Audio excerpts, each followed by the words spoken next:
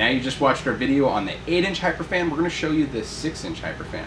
This, again, is one of the newest inline fans on the market. It's very unique, has a DC motor that's converted to AC, so it's highly efficient, but also highly dimmable, just as we showed you on the 8-inch model.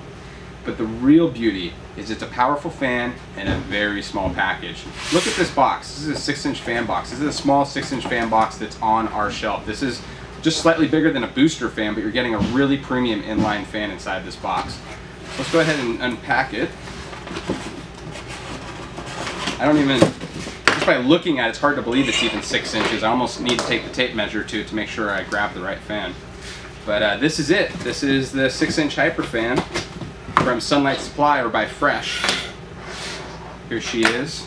Let's go ahead and get some measurements on her. Now this looks almost like a four inch, but let's take a measurement. I'm pretty sure it is the six. Six inch in diameter. It is about five inches in length. And let's say it's roughly about six and three quarter inches in height. So it's a very small fan, but it's a six inch fan. Your ducting sleeves will run right over this. Uh, let's go ahead and show you the fan in action. We're going to do a dB test to check the sound output and then we'll do a wattage draw test as well as show you the dimming function because this is one of the coolest integrated features of this fan. This is a fan that was designed with the speed controller.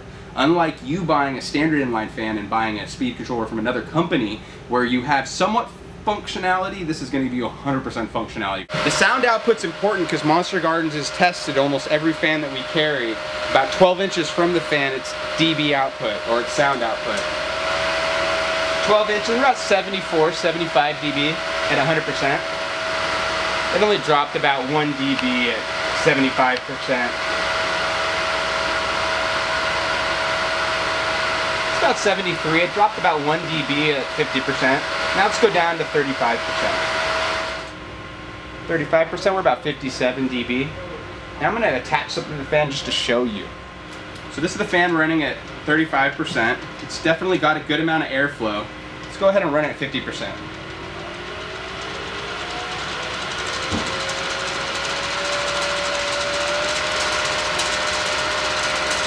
Now while we're looking at this visual representation, now while we're seeing this visual representation, let's go ahead and look at the wattage draw in comparison to the fan's output. So we're at 35% right now. And here we have a standard kilowatt meter, which we sell at Monster Gardens. It's a great tool for you to be able to see what the wattage draws of your products in your garden. 35%, and it's only pulling about 11 to 12 watts. One of the beautiful things about the Hyperfan is it's highly energy efficient. Now, our Rebel fan is slightly more powerful. So if you're looking for a powerful fan or a fan strictly due to the power, uh, the Rebel's a great option. But these hyper fans are going to fit in smaller places. They're going to have uh, really great electrical efficiency. They're decently quiet uh, for the output, and they're really light. Let's go ahead and run the fan at 50% and see the wattage increase.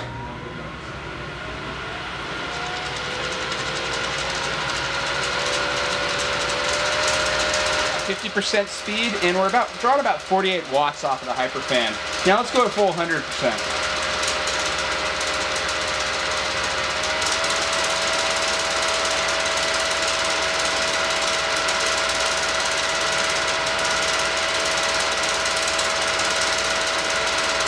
So now we're running about 100% and we're running about 55, 56 watts. So as you know, this is a very energy efficient fan graph to show the 6 inch fan and how it works in conjunction with different filters from Phresh. With the 6 by 39 inch filter married with this fan, you're going to have a CFM of somewhere around 190. With a 6 by 24 inch filter, you're going to have a CFM about 180. With the 6 by 20 inch filter, you're going to have a CFM of about 175. With the 6 by 16 inch filter, you're going to have a CFM output of right around 160. And with the 6 by 12 inch filter, you're going to have a CFM output of right around 125. So as you can see, the 6 by 39 is going to be the least decrease to fan output, where the 6 by 24 is actually the most popular size purchased. And as you can see here, it's a 6 inch fan that's stated to run 315 CFM and 35 watts, but we saw that the wattage draw was a little bit more than that. I'm guessing that this number and this number is a little more true for when it's married to some duct. All of the best grow products in the world are available at monstergardens.com. Please use the link below the screen.